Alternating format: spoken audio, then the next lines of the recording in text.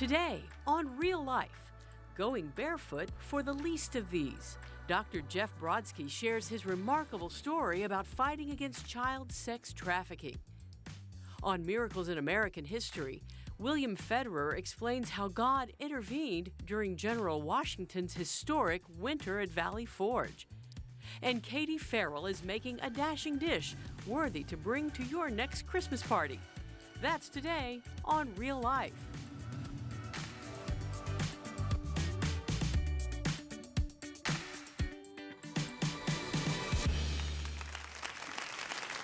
Well, this is real life. Welcome. And we want to just believe for a real, joyful life, this season of joy, guys. I'm Tom Hollis. I'm here with uh, Pastor Amy Schaefer and Amanda Brocker. Hey, guys. and you know, it, it is that, that season. It's a season of joy, and we want to see the, the, the joy of the Lord be yours today. And we know that, you know, many times that's a, that, that can be a struggle, but we're here today to believe for that for you. Okay, how do they explain joy, right? Jesus first, others second, yourself last. And that really does bring to it's all about Jesus. Make life more about him and less about you and then you're going to find real joy because you know so many things happen that kind of steal your joy and that take the joy away, but Christ always brings life. Well, I know one thing that really can bring joy at Christmas time is when we receive those Christmas cards, and some of us work really hard. You know, my family, I haven't done Christmas cards in a while. It's horrible, but let me tell you the importance and the value that you feel when you receive those cards. And I know for like my mother in law right now, she's been going through some trials and that with her health, and she's in a nursing home rehabilitating. You have no idea how much those cards mean. So write those cards out and send cards, but you have something to tell us about this I card. I love the family Christmas cards. I like getting them in the mail. I love seeing all my friends and family and what Wait their minute, you- families look like now. You know, What do you mean with the pictures? the picture cards. You love those. Not just like a normal card, Okay. like a picture card. There's a difference. Okay. Okay, so okay, so we took my family to do our Christmas pictures, right? Downtown Yeah. Pittsburgh, a freezing cold day, and I found out that my family talks all the time. The photographer said, if I get one out of 20 of these pictures, I will be amazed because your family talks so much. And I said, thank you. I'm so proud of that. We were supposed to be in these really chill, like discreet areas, like Schaefer's. We're going in, like, don't make such a big ruckus. And we did the complete opposite everywhere we Wh- wh- went. Where do they take you? What, what's like the background? What are they? Where are you? I cannot tell you. You will have to get a Oh, Christmas discreet. card. Okay, well. That's right. I will find a different place in downtown Pittsburgh every year till I breathe my last breath. Great, wonderful. if you see the Schaefer family in your neighborhood, you'll know what's going on. But do you do a Christmas pick? Uh, no, we've never done that. We, we just don't do it. Uh, but I love Christmas cards, though. I love getting Christmas cards. I love, you know, going, uh, seeing all the different, uh, you know, Christmas. The thing about Christmas cards, I noticed though, is if you stop sending them, Yeah. you stop getting them. That's right. you know, if you don't if you don't send them, you know, there were there are people. I know you've got these people on your Christmas list that you haven't talked to since last Christmas. When the last Right. time you had any kind of communication was when you sent last Yeah. year's Christmas card, Right. right? Yeah. And, and we we noticed that too. But you know what? It's still fun to get. I know. And I save them.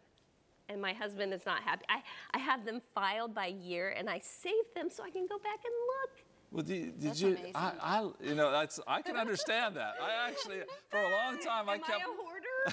I might need prayer. I might need to call 1 665 4483. be delivered. Um, but you know, I love looking at old Christmas cards too. If you see some of the old ones, the, the ones from the 50s or 40s, they're really awesome. Yes, right. You know, well, it's interesting that you mentioned joy and mentioned that acronym because our guest uh, today on the show, Dr. Jeff Brodsky, his uh, organization is called Joy International, and that is exactly why it's called Joy International Jesus, others, and yourself. Um, but he is taking a stand against child trafficking, and it's such a serious uh, problem and serious subject, but he will bring the joy of the Lord as he talks about that. That's right. Well, speaking about being barefoot, let me tell you, you all are going to want to stay tuned for the miracle in American history with George Washington. This is winter at Valley Forge, and these men were barefoot That's and right. oftentimes they left trails of blood because it was so cold outside. Mm-hmm. Wow. Stay tuned. Right. Okay. And we have our dear friend Katie Farrell, who is going to be whipping up a special dish skinny deviled eggs. Is there such a thing? We will find out. That's going to be great. You know, with, with uh, all the, the joy and the things that we talk about during this, this season, it, it's difficult to think about going through trials. And, and uh, as you are, you know, as you come upon this season, uh, it, is, it is a time where people, many people struggle. They struggle with the, the whole issue of Christmas. And we have prayer partners standing by. There's a number there on your screen. They're always there to pray with you. We'd love for you to call in because we want to bring some joy into that situation. And we want to believe with you for, for great joy in this, this season of joy, uh, getting, just getting our lives uh, closer to God. That's right. And you know what? We love our Christmas songs, but I've had a song stuck in my head, and it's that song Cornerstone. And there's a part of the one verse that says, Faultless, I stand before the throne of God. How amazing is that because of this gift that the Lord brought to us? Now we can stand faultless before his throne. What an mm. amazing thing that means to us. I wonder how many people right now are, are waking up in the morning with the weight of guilt and shame, and they feel like God is out to condemn them, that He's up there with a hammer when you get out of bed, and He's like, boom, and, and you just feel so guilty for past failures, past mistakes, maybe situations that happened to you. But Jesus didn't come to this world to condemn the world, but that the world through Him might be saved. That's right. That's right. One of my favorites is uh, "God Rest You Merry Gentlemen," and it Yeah. says in there that he that that God rest you merry gentlemen. Let nothing you dismay. Remember, Christ our Savior was born on Christmas Day to save the world from Satan's power when we had gone astray. Oh, tidings of comfort and joy. Yes. Thank you, Lord, for not making me sing it. But the, uh, it, is, it is something that we need to remember that that, that is why we're here. That is why that, that, that uh, we exist. And That's why Jesus came to save us from Satan's power and to set us free. And Amen. he brings us comfort and joy. And we're praying that this Christmas season you will have comfort in your home, you'll have the joy of the Lord in your house. And coming up on this Miracles in American History, William Federer explains how God intervened during Valley Forge. Let's take a look.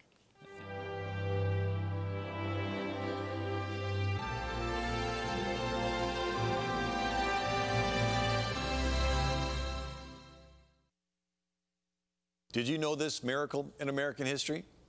After the American victory at Saratoga, where 6,000 British troops surrendered, British General Howe struck back by driving the Patriots out of Philadelphia. While 11,000 Americans died on British starving ships, where the British would capture the Americans and stick them on ships where they would starve to death, there were 11,000 American troops that set up camp on December 19th, 1777, at Valley Forge, just 25 miles from Philadelphia.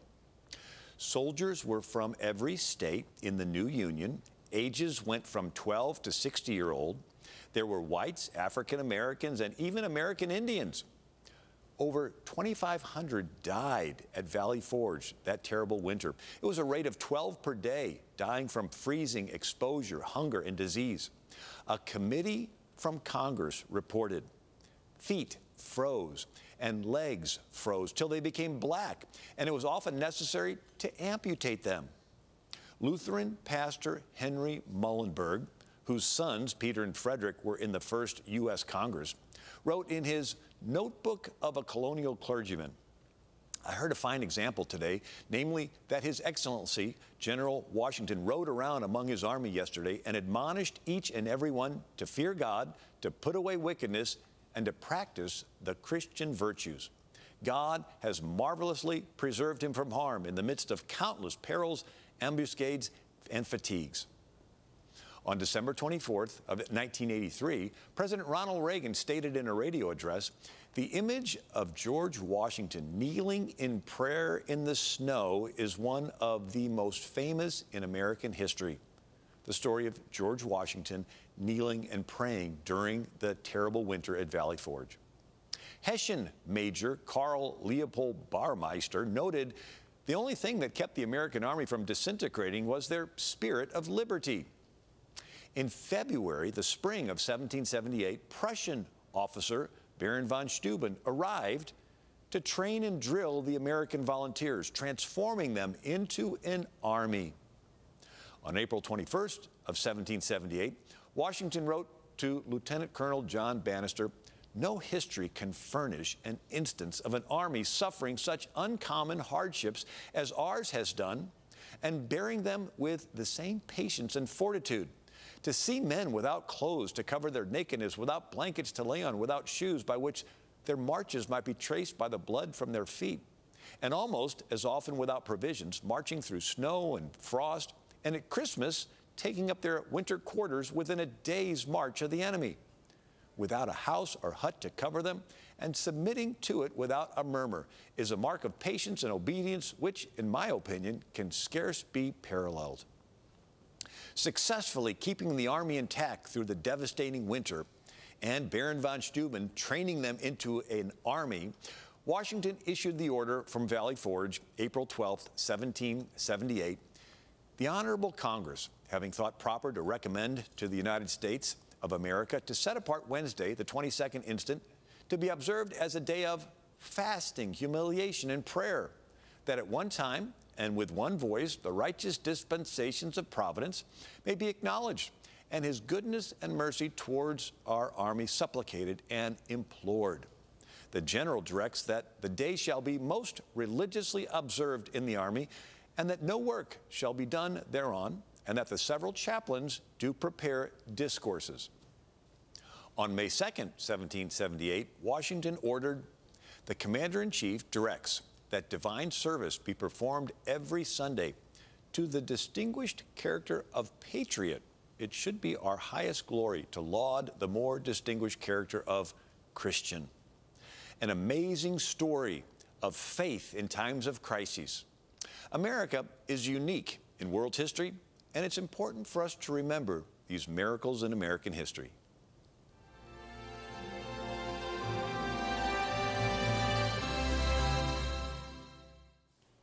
You know, when we hear these miracles in American history, it just always amazes me. You know, guys, just think of uh, General Washington going around on horseback, imploring them to, to uh, you know, to, to, hear God, put away wickedness, put away wickedness, and practice Christian principles. I, I mean, it worked. It just it really did work.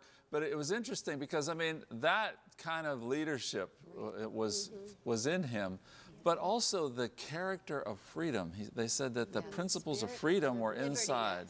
They were, and that, that they needed to have that in order to, I mean, think about it. Roughing it through the winter like that, 11,000 troops. Barefoot. Barefoot. And, and their legs even turning black. Yes. I, I was really disturbed about the, the British ships taking our people and putting them in ships and starving them to death. Starving. Starve. I mean, that's a, another level of crazy evil. Mm-hmm. And I just think, wow, for these men to push through and to see the victory and and then to say we're going to pray and we're going to believe God, we're going to trust God. Right. And I don't know, to watch the leadership of George Washington, it's inspiring. Mm-hmm. You know, uh, as I've studied some of the great revivals that happened, you know, the Second Great Awakening, First Great Awakening, if those things didn't happen, there wouldn't have been the character. Yeah. That's wow. many, many clergymen have said that the character of the nation was founded in those revivals happening mm-hmm. and, and, and enabled people to then go beyond what they normally could because they knew that God was in it. God was doing something here. God was the, was moving them to a place of freedom. So I wonder, like, what can we take today and apply from this story to develop character for even maybe future or upcoming revivals that are going to be happening? Well, I think in our history, number one, like as young people, we need to be so thankful for our freedom because there was a price that was paid. We weren't around to see this, but to recognize that. And that spirit of liberty, I think a lot of cases in our lives, it's mind over matter. We have got to renew our mind so that we don't get caught up in the funk that we might be in or the struggle because God wants to take you over, but that renewing of the mind you have to do it. That spirit of liberty, we're going to persevere. Well, I, I, and I think that learning history matters a lot to us. And we, a lot of times we don't want to learn history. Uh, everybody who sat in history class and had to memorize dates and battles and things like that, you didn't want to do that. But uh, when we find out what the, the foundation and the character was of our nation, it is a challenge for us to be those same people. You know, that when we were, when we hear about people that did that, just like you said, Amanda, when we hear about people that, because of the cause of liberty, because of the freedom that enables us to sit right here, right now, And use our voices. and use our voices to talk about our faith in Christ, those things were founded by those people that went through Valley Forge. Yeah. That's right. Well, and, and I mean, and if you think about it, even today, we go through battles, we go through mm-hmm. storms, we go through situations in life, and it might seem like all of hell is against us, but guess what? God is on our side, and you can win. You will have the victory. Mm-hmm. Let let that that patience, develop perseverance and character be developed. Don't be shaken by the right. battle. you stand strong in faith and see the victory. That's right. See, I could see you riding around between the troops and stirring them Eh, up. yes, That's that's right. right, We need that. We need that kind of encouragement. That's right. Uh, well, coming up next, we're going to talk about someone who goes barefoot in this day and age. He goes barefoot for the gospel. You are not going to want to miss Dr. Jeff Brodsky. We'll be right back. Now more than ever, it's important to stay connected. Here at Cornerstone, we want you to be in the loop. Call now for Real Life Today, the free newsletter that will keep you up to date on all of our programs and specials. It has encouraging articles and behind the scenes stories. Real Life Today, the little newsletter that packs a giant punch. Call now.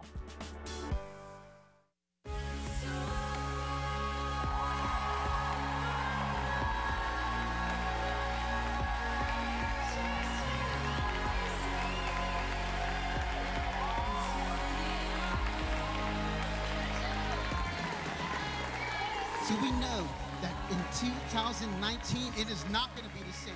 It's not going to be like 2018. We're going to new levels. Amen.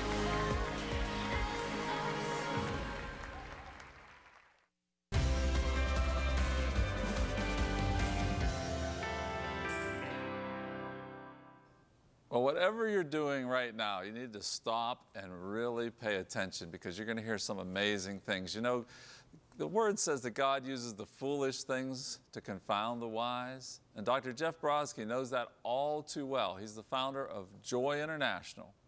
And in his new book, The Least of These, he explains how God called him to use his bare feet to fight against child trafficking. Dr. Jeff, welcome to Real Life. Thank you. Thanks for having me. Before we get to your bare feet, and we do want to ask you about that.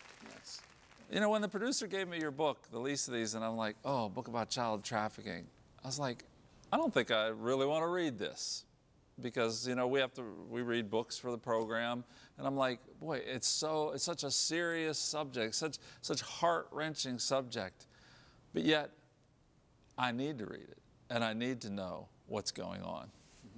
You know, it's interesting. It's like the three monkeys uh, see no evil, speak no evil, hear no evil. It's with too many people in our world today. They don't want to see it, they don't want to hear about it, they don't want to talk about it. It's so evil, so dirty, so heinous that people just turn a blind eye to it. But, Tom, if it was their child, mm-hmm. their eyes would be opened and they would do anything they could to help set their child free. Well, the number one question I'm asked by so many people around the world is why are you so obsessed with this? It's not your child. It's not my child. This is what's wrong in Christianity. It doesn't matter if it's my child. Every child is God's child. Jeremiah 1 5, before you were in the womb, I knew you. Before you were born, I created you. Um, I don't know if you have children. I have children. Yes. My wife and I did not create our children. You and your wife did not create your children. You're the tools. We're the tools that God uses to bring life in the world. If we could understand that one principle, then we could learn to do what Jesus instructed us to do when he said, Love one another. Um, if we could understand that, then we would all be um, zealous in our fight against child trafficking because every child that's being abused would be just like it's our own child. And that's how I see each one of them. Um, I'll do anything to set one free. Let me ask you about the problem. So tell, tell us just a, a, little bit about, so some people, I think everyone's probably familiar to some point, but maybe not as familiar as we should be. What is going on and what is it that you're fighting against? People have no idea the depths of depravity that are in our world today. For many years, uh, I used to go undercover. Uh, I stopped going undercover. I can't really say that anymore because I was undercover just uh, about two months ago in a country in uh, Central America. I can't say the country because the investigations are ongoing. But for years after I went barefoot, I couldn't go undercover. When I went undercover, and when I say undercover, I went into brothels uh, searching for the youngest children I could find. Um, I personally saw children in brothels. And when I say children, I'm talking about children as young as four years old being used and abused by the most evil men on earth in the most heinous way imaginable. Um, there is no worse crime perpetrated against a child in our world today since the dawn of creation. N nobody can convince me of it these children have to service. I don't have to paint a picture of what that word means for the listening, uh, the viewing audience. They have to service anywhere from 10, 15, even up to 20 men a day, every day, uh, until they're no longer desirable and, and, they're tossed in the street like trash. Um, or they're sold to what would be called a, a lower brothel. Um, and they'll either die of exposure, disease, kill themselves because they feel like they have no other option. Um, how do we as a society allow this to happen in our world? You know, when I look at the wars that we fight all over the world, why isn't there a war in every country, in every society on earth to fight this evil against our children? It's something that baffles me.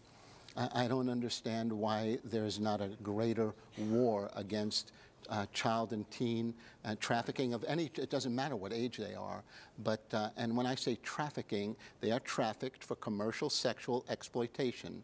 Um, it's slavery. I mean, it's, it's, it's, it's, unquestionably modern.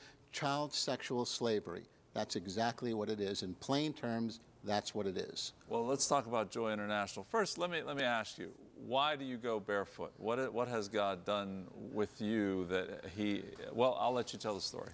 Well, when, when people ask me, why are you barefoot? I tell them one word, obedience. Because I believe on July 19th, 2010, when I was in Phnom Penh, Cambodia, God asked me to when God asks you to do something, you have two choices. It's either yes or no. There's no maybe. Maybe to me should be taken out of the dictionary. It's a non word. It's no until it turns to a yes. When God asked me to do this, there was no question. I know God's voice because I talk to Him all the time. When you do the work that I do, you have to. Um, I have to know when God is speaking to me uh, because of the dangers involved. When we go undercover, we're risking our lives. When my teams go undercover, they are unquestionably risking their lives. Um, but on July 19, 2010, I was at a garbage dump in Phnom Penh, Cambodia. We were doing a feeding program along with Joyce Meyer Ministries. Right. We were working with her team there. And we were feeding children that live in the dump. They live in the dump because that's where the fresh food is. Trucks come, dump the fresh food to them, and they converge on it. Maybe they get a half-eaten banana or whatever. Mm -hmm. Well, as I was standing there watching the children, I remember they were to my left, and I'm watching them, and there were about a dozen or so. They're sitting there. They had a bowl of rice with chicken in it, and I noticed they were all barefoot. Now, this it, you can't understand what what I saw we were in a garbage dump, mm -hmm. the sludge and the smell. Well, anyway, when I saw them, they're all barefoot. A, a couple of them had old, uh, torn up uh, flip flops. When I went to my hotel room that night, I took off my shoes and socks, and I felt that God was impressing me to go barefoot in solidarity with those children for one year. And I thought, wait a minute, God, I, I live at 9,000 feet elevation in the mountains of Colorado. When I left my house yesterday, there was snow on the ground. I thought, what would I do in the winter? And I felt God was uh, showing me that as long as I'm not stupid and that I would take uh, my precautions, that he would take care of me. When I came home, of course, everybody thought I was out of my mind. Mm-hmm. Um, but when God tells you to do something, if you have to be obedient Sometimes, uh, uh, what God told the prophets to do in the Old Testament, mm. they thought they were out of their mind as well. Well, so I, did, I said, okay, I'm going to do it. Well, I, am not going to go through the whole thing. People right. can read the whole story in the book. But on July 19, 2011, Tom, this was the happiest man on earth. I couldn't believe I, I went barefoot for an entire year. Mm-hmm. And as of today, it's been 3,065 days, wow. over eight years. Um, I haven't even had a sock on my feet. Well, uh, that morning, July 19, 2011, I'm up between 2.30 and 3.30 every day. I had a pair of socks on my couch. I got up, I, it was about 2.30 in the morning. I took the sock, I had my left foot, put it on the ottoman. I was ready, I put the sock on my toes, was ready to put them on my feet. This is what happened uh, I, I went to pull him on my foot, and it was as if, I don't know if God sent an angel or what, but it was like there was an unseen force pulling the other way, and uh, I, I couldn't get them past my toes. And, and I cried out, I said, God, what, what do you want from me? I just went for a whole year. And, and that still small voice spoke to me in a way that only the Holy Spirit can. And these are the words that I heard. Mm-hmm. Keep going. the, those children are still out there. that was enough for me. He didn't have to repeat it. Mm-hmm. When my wife woke up, my poor wife, imagine being married to a lunatic, but she woke up and she came out, she looked, she said, I'm surprised. I thought you would have the socks on. I know you wanted them on so bad. And I said, hon, I tried. And she said, what do you mean you tried? So I told her what happened. She said, what are you going to do? I said, hon, I have to keep going. She said, for how long? I said, until one of three things happen. God speaks to me and tells me it's time. The last child is rescued, mm-hmm. or I'm dead. I said, as long as my going barefoot will motivate even one person a year to action in a way that would help us to rescue even one more child a year, I'll go barefoot for the rest of my life. And it's and not. And it's not because you love going barefoot. It's I not. hate being barefoot. People think that I enjoy being barefoot. I hate being barefoot. Uh, some of the some of the dirty looks, the the the, the snide remarks from people. Uh, sometimes it's very painful. Walking last week, I was in Alaska, uh, walking in the snow, walking on the hot pavement, stepping on a sharp rock that you that you missed. Um, but when I have pain, it's interesting, my grandson, he saw me in pain my first year and said, Papa, why don't you just put on a pair of socks? It's the same thing, uh, a pair of socks, and it's the same thing as anytime I have pain with my feet. It reminds me, and this is what I shared with my grandson Isaac, um, it reminds me of the pain that these girls suffer 10 to 15 times a day while they're being ravaged. My pain from my feet will go away within a few minutes, an hour, even a day. Right. Their pain remains with them until someone sets them free. So any pain that I have, any time that I go through pain, it reminds me of what I'm called to do in the rescue of these girls and setting them free from the pain that they suffer every day. Well, Jeff, uh, uh we, we want to talk to you. We're going to talk to you a, little bit later as well. I thank you for sharing your heart, and, and we can see that your heart is, uh, is stirred up with what God has, has, has given you to do and what God has spoken to you. And, and folks, we're going to be back with Jeff in just a little bit. We're going to talk to him more about some of the success stories of, of girls that have been rescued and also what we can do. It's not, this isn't just a program to entertain us. What can we do? What can you do right now to make a difference in one of these, uh, these sex slaves' lives? How can you help in rescuing someone? And we're also going to talk about what God, when God spoke so directly to Jeff's heart. There's some good stuff coming up, so stay tuned. Right now, let's go to God in the headlines.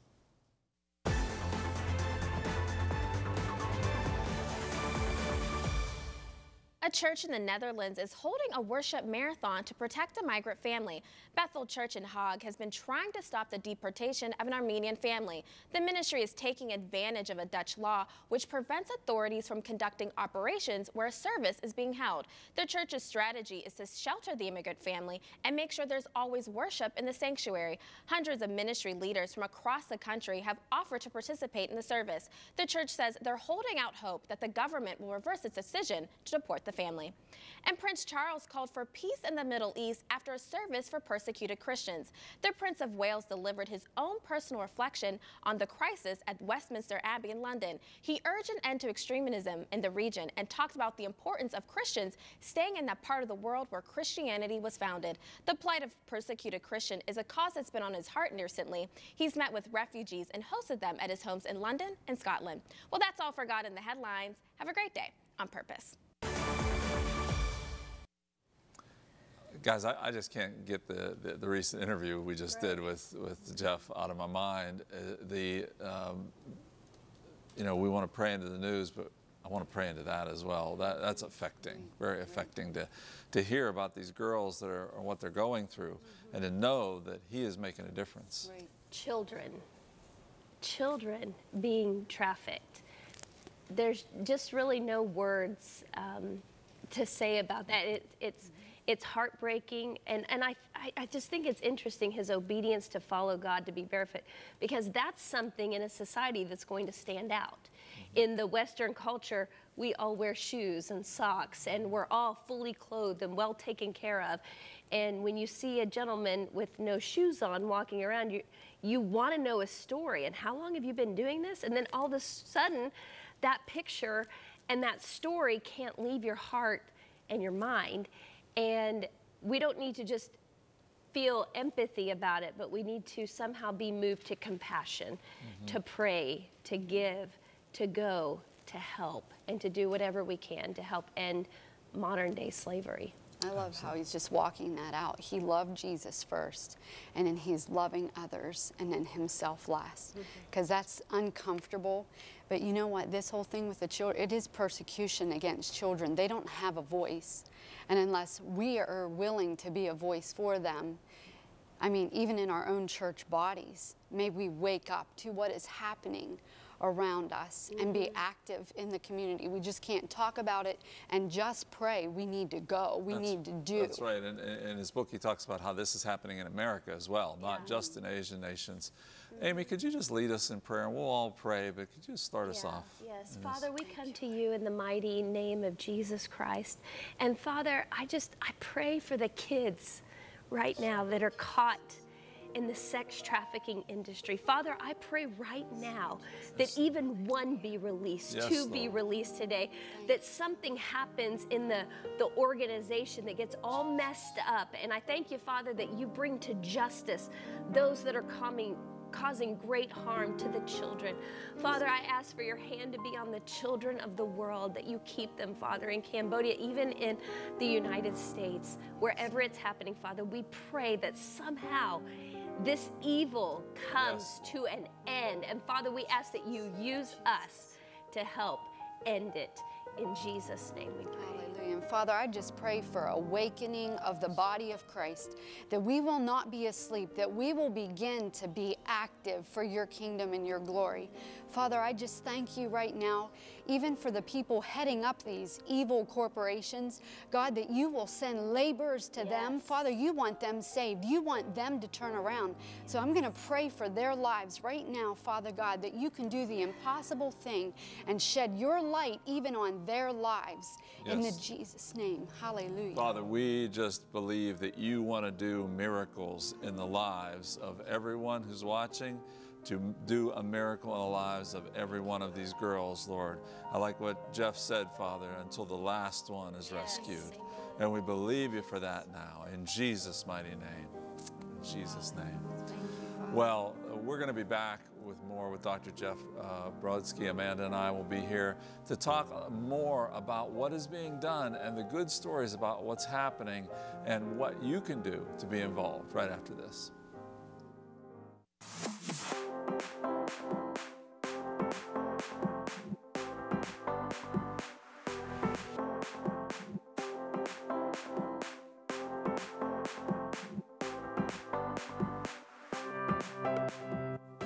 Since 1979, Cornerstone Television Network has captured blessings happening in the Burgh and brought them to life in your home. Through the power of media, our ministry continues to grow, joining with local churches and answering thousands of prayer calls annually. Join us as we continue to build our community while impacting yours. Follow Cornerstone Television Network on Facebook, Instagram, Twitter, or check out our website www.ctvn.org. Cornerstone, real answers for real life.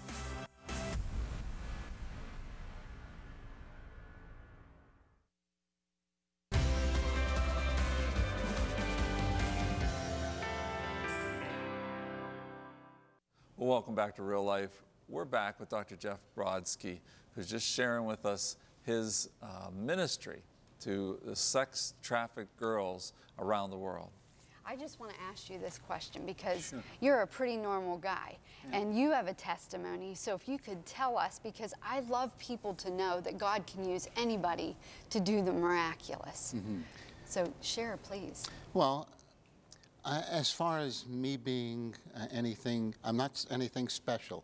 People think that I'm special because of this barefoot thing. I'm just, a, like you said, I'm just a regular guy that God asked to do something, and I said yes. It's just like anybody else in the scriptures. When you read the scriptures, you ask people to do things, and it's a matter of being obedient.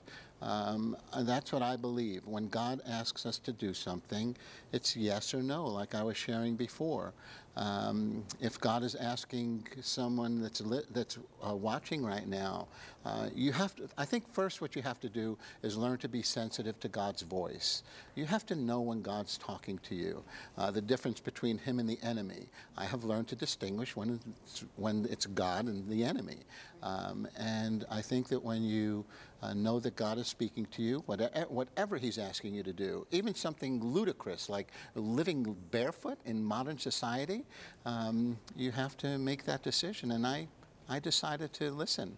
And as a result, eh, you know, when I, when I first started going barefoot, it wasn't to raise funds. It was simply to make people aware of the plight of trafficked children. I had no thought that it would ever be used as a fundraiser. And then it was, a, it was into my second year, I spoke to a youth group in a small town in Ohio. And about a few days after I spoke there, their youth pastor contacted me and said, Dr. Jeff, you really touch the hearts of these young people. They want to do something to help. Rescue operations are incredibly expensive, thousands and thousands of dollars just for one rescue.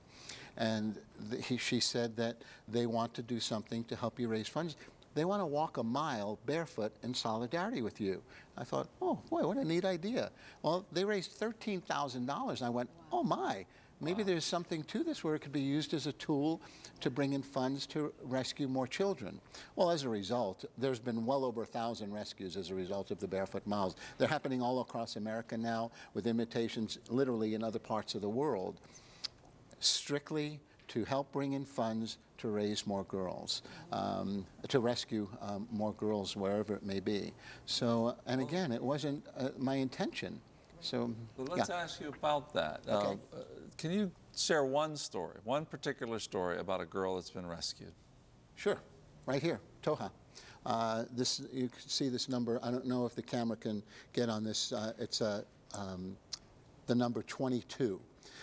Um, this number 22 has a lot of symbolism. Uh, there's, uh, there's a reason why this was uh, made. Uh, it was in Cambodia uh, with an organization that we partner with. We partner with a lot of different organizations. People that are in this fight must be willing to partner and work together and join forces. There can't be any jealousy, envy, fear. We must, we're fighting organized crime and we must be organized. But this is the story of Toha. Toha is now 19 or 20 years old. When Toha was 14 years old, she was sold to a brothel by her parents. Um, and yes, that happens even today, uh, even here in America. And it took the team, uh, our, uh, my, I have a director of global police training and tactical operations. He trains police teams. Um, one police training will cost Joy International twelve to fifteen thousand dollars. Is it worth it? The police teams that we trained, um, it took one of them 22 days to find Toha. Um, in those 22 days, Toha had to service, I don't have to paint a picture what that means, she had to service 198 men in that 22 day period.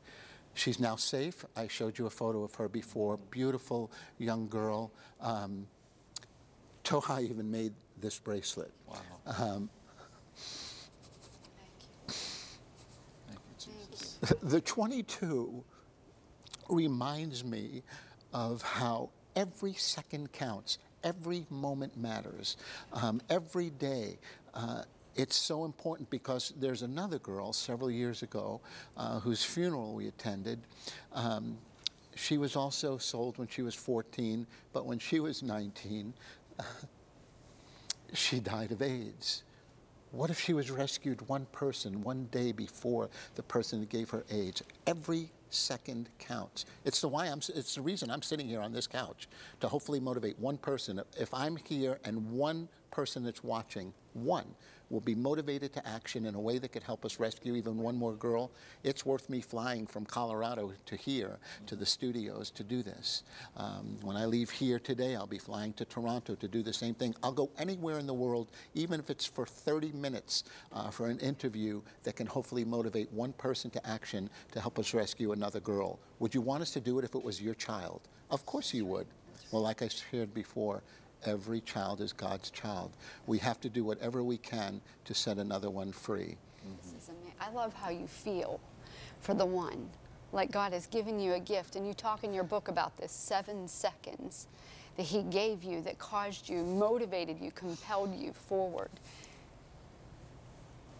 Thank you, God. I believe the Lord wants to uh, do that for people so that we can feel. I don't like to talk about the seven seconds Yeah. because when, when I do, it brings back to my memory what happened uh, during those seven seconds.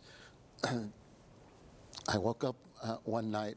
I was in emotional basket case, much worse than this, and woke up my wife, and she said, "What's wrong?" And I said, "I said, Anna, I can't talk. I, I just have to go pray." And I, I went into another room and started praying. And when Gail, my wife, woke up, she said, What happened? I said, I, I don't know if it was real or a dream, but for about seven seconds, God gave me the emotion of what one of these children feel while they're being ravaged. I said, My life as we know it is over. As long as I know there's a child out there experiencing in much worse, much worse than what I felt for those seven seconds, I will devote the rest of my life to setting as many free as I can. You know, it's interesting as Christians, we pray for so many gifts gift of healing, miracles. I've pleaded with God to give me one gift that I could take this finger and touch someone like Tom and let him feel for those seven seconds what I felt. And then people would know why I'm so obsessed with uh, fighting this uh, evil. Um, I think uh, women can understand much better than men. Why God did that to me, I don't know. Um, all I know is what I experienced during that time.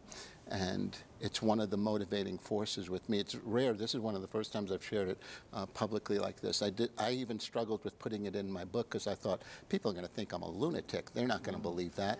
It doesn't matter shows to me. God's reminds me of Jesus Yeah. because he Exactly. felt, he felt Yeah, all the sin of the world on his body. He sweat blood Mm-hmm. in Gethsemane. that's true. Well, I never thought of that. That's true. Well, we're, we're going to ask you to join us for prayer uh, towards the end of the program, uh, Jeff. Sure. And, and we'll also we want to talk then about how people can be directly involved, how people can Sure. be involved in a way that will make a difference. Uh, because we, we love that you're sharing God's heart for these girls, and we want to continue that. So thank you so much for sharing. Right now, we're going to throw to Amy. Well, the the heart and the compassion that Jeff has, I believe, came straight from the Heavenly Father. If you think about the Christmas song, what child is this who laid to rest on Mary's lap is sleeping? We're talking about children being trafficked, whom angels greet with anthems sweet, while shepherds watch are keeping.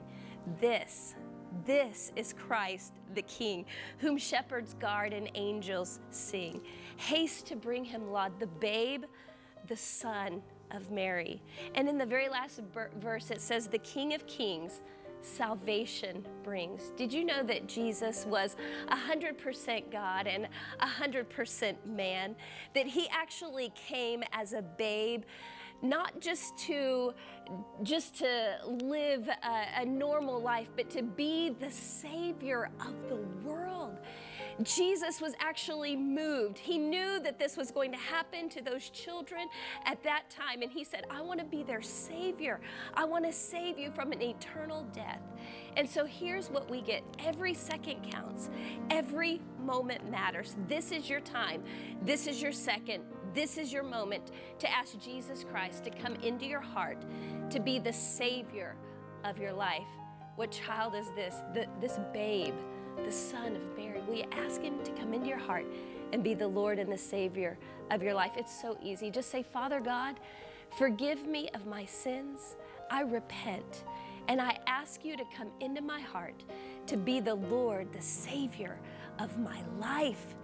In Jesus' name, amen. If you prayed that simple prayer, will you give us a call at 888 665 4483?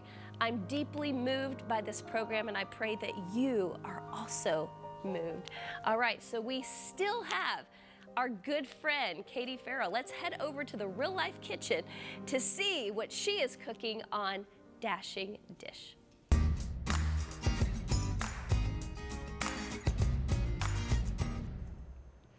Hi, I'm Katie with Dashing Dish. And at Dashing Dish, I'm all about teaching you how to create healthy alternatives to the food you crave.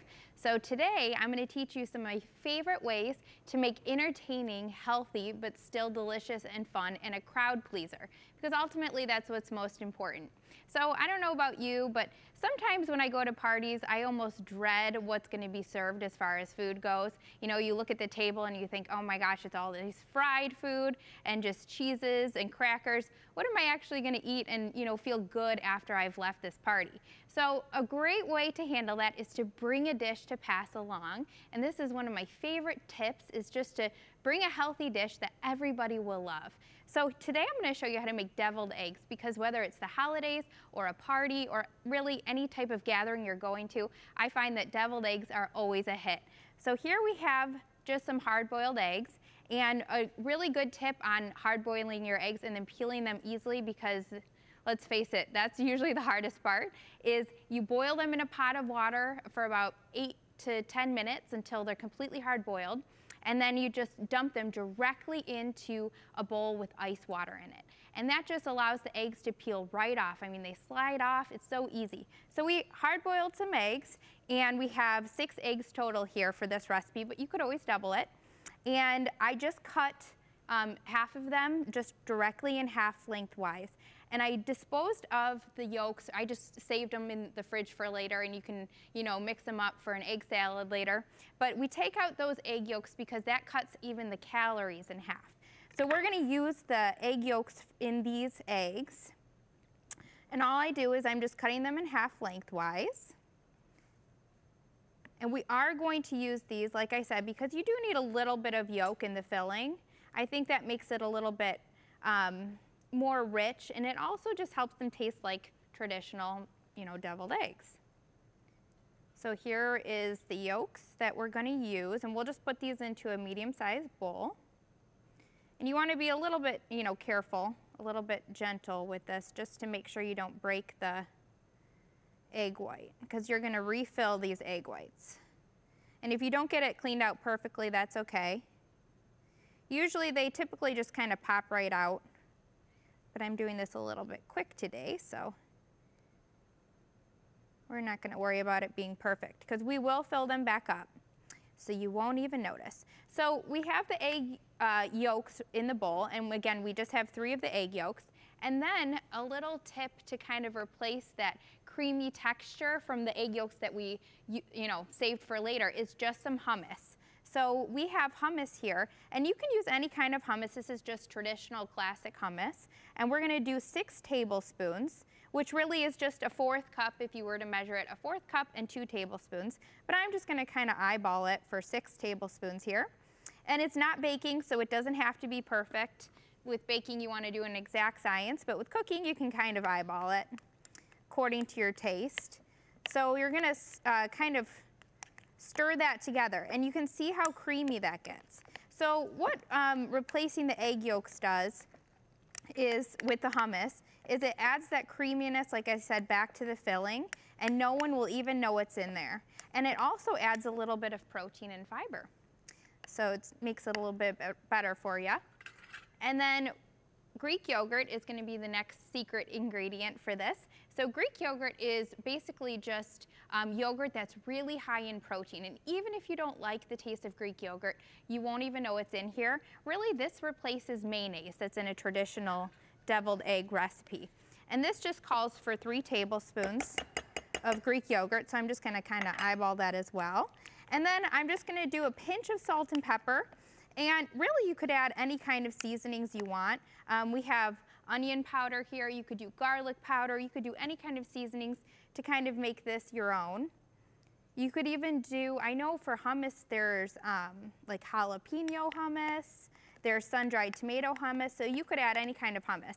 And you'll see once this is all stirred together, it looks just like a traditional deviled egg filling. So again, you wouldn't even know that these are a little bit on the healthier side. And it's really um, cutting the calories in half. So no one would know, and you know that you're bringing a healthy dish to pass. So you can feel good about serving it and also eating it. And then to make these really pretty, because that's really the important part when it comes to deviled eggs, is I take a Ziploc bag and I kind of stick my hand in there, and then I fit, put the filling, and you can do this with any frosting or anything that you're um, trying to, you know, pipe on that to make it look pretty and easy. I put the filling directly into the Ziploc bag like this, kind of on my hand. And then I turn it inside out and then squeeze it down into one of the corners. And again, you can do this with anything that you're trying to pipe, and you have your own piping bag.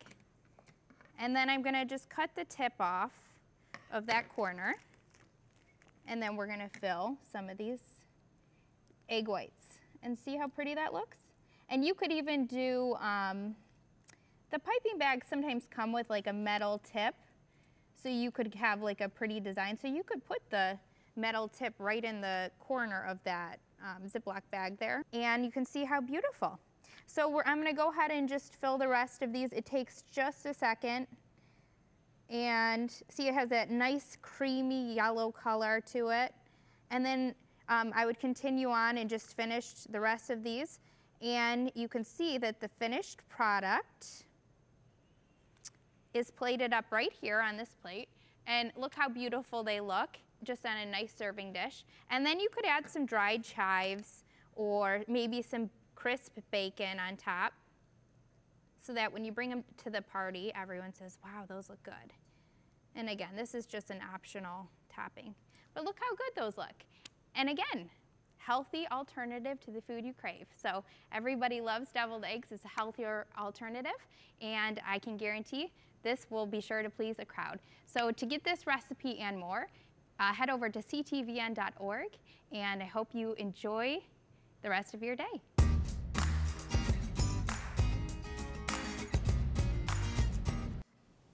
Well, I'm not the hugest deviled eggs fan, but they look pretty good. But I don't know, you know, uh, Katie, if you can get me to eat those deviled eggs, I just like the word skinny before it. skinny, blank, blank, anything that says skinny first, I, am in. right, right, exactly. Well, we're here. We're going to pray for your uh, needs, pray for the needs that have been called in. We're also here with uh, Dr. Jeff Brodsky, talking a little bit further about what we can do. So, Jeff, just listening to your interviews and your story, and you know, I you you can't help but to be deeply moved. How can I move towards action? What can I do? Well, people used to ask me uh, in the beginning, can I go with you? Can I go undercover? It, you have to be highly trained mm -hmm. uh, to go undercover. Uh, now uh, we don't allow any civilians to go undercover anymore. Uh, we, use, we work strictly with the police. We've learned through the years how to do it the right way. When the police go in, they could do a rescue and an arrest immediately. When we do a rescue now, someone's going to jail because yes. an arrest is done immediately. Yes. But the best thing that people could do is to help us with funding. Mm -hmm. uh, it's give you an example. One of our police trainings, which I'll be doing another one in three weeks with our team, costs us between twelve to fifteen thousand dollars. We did five last year uh, airport trainings where we go in and train anybody in the airport. I don't care if it's TSA agent or if it's someone that pushes a wheelchair, works in a restaurant, works behind uh, the counter as a clerk uh, with rental cars. We train everybody in the airport to recognize when children or teens are being trafficked in the airport. Mm -hmm. That has resulted in tremendous um, rescues already. Um, so these are expensive. So that's the best thing people could do. Uh, they can also write to their legislators. Um, they can make people aware uh, in schools. There's different things that people could do, but funding is a big part of it. My challenge here would be uh, whether it be to uh, viewers or to even you. I know that you're, you're a pastor. Mm -hmm uh, with your church. I would challenge you to help put together our first barefoot mile right here in, Pitt, in the Pittsburgh area. I was thinking that yeah. same thing. I would love to have yes. one here. Yes. Uh, we're having one in Lancaster, Pennsylvania uh, this uh, spring. Yeah. But uh, those are some of the things that people could do. They can get online. Uh, our website is real simple. Yeah. my organization, Joy International, joy.org. Uh, they can get online, and there's uh, areas there they could see what can you do. Um, and so we'll there are that, things we'll that you can do. We'll have that on our, on our website, Joy International. Go to ctvn.org, and you'll also have a link to Joy International. Also, uh, the information about how to get the, the book as well. Um, right now, we want to pray. We've had uh, uh, we always have people calling in, and I'm glad we do. I'm glad you call in and, and, and that we can help to touch your life. And I'm going to just ask Amanda if, if you would just lay hands and, and, and pray. Uh, Before I do that, can I ask how many children have been set free? Since we started doing this, there's somewhere between two to 3,000 that have been rescued. Amazing. Thank you, Lord. We over have three, Over 300 last year. Uh, just in Cambodia, over 300 last year with the teams that, that we've trained. Amazing. Thank Just about a minute left, so let's let's. Thank you. Lord, we look to you. We rejoice right now for every one of those children who have been set free, Father God, for you so long to set the captive free. And Lord, I thank you that your anointing goes through our, our friend here. And Lord, you continue to set these captives free. Yes. And Lord, for those who have called in and they are bound in any way, whether it's with sickness, disease, Father, or if they're in their own mental prison. Father God, you know every need on every page, and we declare the year of the Lord, liberty in their lives. In the mighty name of Jesus. And we thank you, Father God. We thank you that you've called each one. And Lord, I do ask that you awaken us. And Father, put passion within us. Let us feel what someone else feels so that we can be moved into action to be the change that we yes, are so looking for. Yes, In Jesus' name, amen. Amen. Amen. amen. amen. Jeff, thank you so much for being with thank us. Thank you. Guys, wonderful program. And we want to leave you with the Aaronic blessing. The Lord bless you and keep you. The Lord make his face shine upon you and be gracious to you. The Lord lift up his countenance upon you and give you peace.